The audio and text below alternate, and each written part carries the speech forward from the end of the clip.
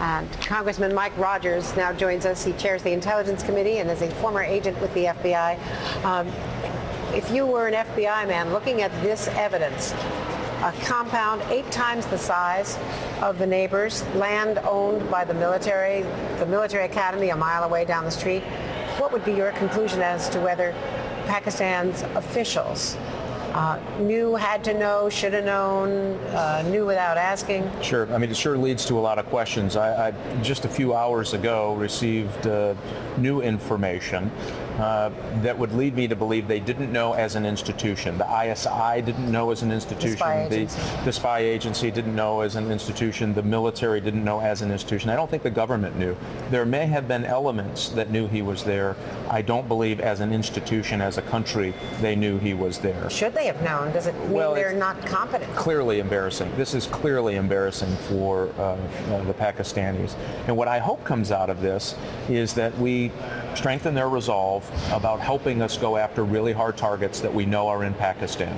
Uh, I think this might might be something that pries them loose. Uh, and they've had an on again, off again. Sometimes they help us, sometimes they don't.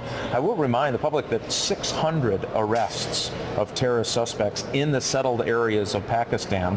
Uh, and they sent their troops into the tribal areas of Pakistan and have suffered pretty serious casualties. Thousands of their men have died in combat fighting Taliban and Al-Qaeda. So they have, in, in many ways, helped us. Uh, and, but something like this happens, it sure asks, uh, it begs the question, uh, who did know? Uh, we're going to ask those questions, but I think what I've seen just in the last few hours tells me probably not institutional. What kind of information?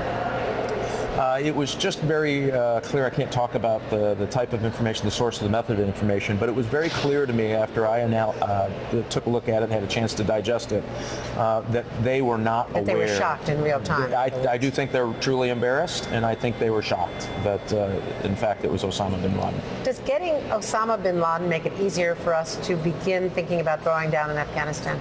You know, two different fights, I think. And I think every country, every operation has to be considered differently. Uh, we, no one should use this and say, well, see, this is the only way we should do this at, at all places in the globe. It doesn't always fit.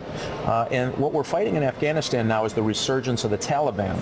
The Taliban is what aided al-Qaeda and gave them safe haven in Afghanistan to conduct operations against the United States.